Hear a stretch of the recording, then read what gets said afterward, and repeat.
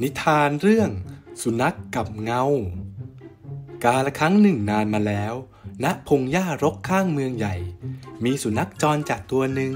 กำลังนอนหมดแรง เพราะไม่มีอะไรตกถึงท้องมานานหลายวัน มันจึงวางแผนเข้าไปขโมยอาหารในตลาด เพื่อมากินประทังชีวิต และโชคยังดีที่ได้เนื้อชิ้นโตมา โดยที่ไม่มีใครจับได้ ในระหว่างที่เจ้าสุนัขกำลังกลับไปยังที่พัก มันได้เดินผ่านสะพานข้ามลำธารเล็กๆ แห่งหนึ่ง แล้วเหลือบไปเห็นเงาสะท้อนของตัวเองในน้ำก็เข้าใจผิดคิดว่าเป็นสุนัขอีกตัวที่ออกหาอาหารเหมือนกัน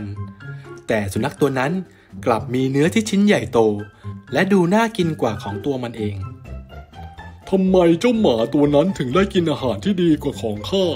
ข้าไม่ยอมหรอก ข้าขโมยเนื้อจากตลาดมาได้ ข้าก็ต้องขโมยเนื้อจากมันมาได้เหมือนกัน เมื่อเจ้าสุนัขคิดได้ดังนั้น มันก็อ้าปากเห่าเงาของตัวเองอย่างดุดัน และนั่นเองก็ทำให้เนื้อที่มันคาบเอาไว้ลวกตกไปในลำธารและก็จมหายไป อะไรกัน หมาตัวนั้นหายไปไหน แล้วเนื้อของข้าล่ะ เนื้อของข้าเจ้าสุนัขร้องอุทานเสียงดัง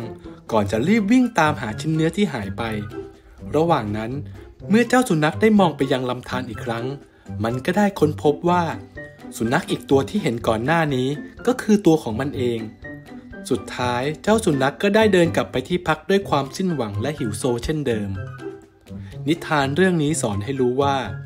สิ่งของที่เป็นของซื้อของขายตามร้านค้านั้น ถ้าอยากได้ก็ต้องรู้จักเก็บออมเงินไปซื้ออย่างถูกต้อง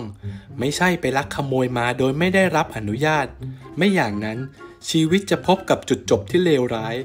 ยิ่งเกิดความโลภมาก อยากได้ของคนอื่นมาครอบครอง ทั้งๆทที่ตัวเองก็มีอยู่แล้ว ยิ่งเป็นสิ่งที่ไม่ดี เพราะสุดท้ายแล้ว ตัวเราเองจะไม่เหลืออะไรเลย เหมือนกับเจ้าสุนัขในนิทานเรื่องนี้นี่เอง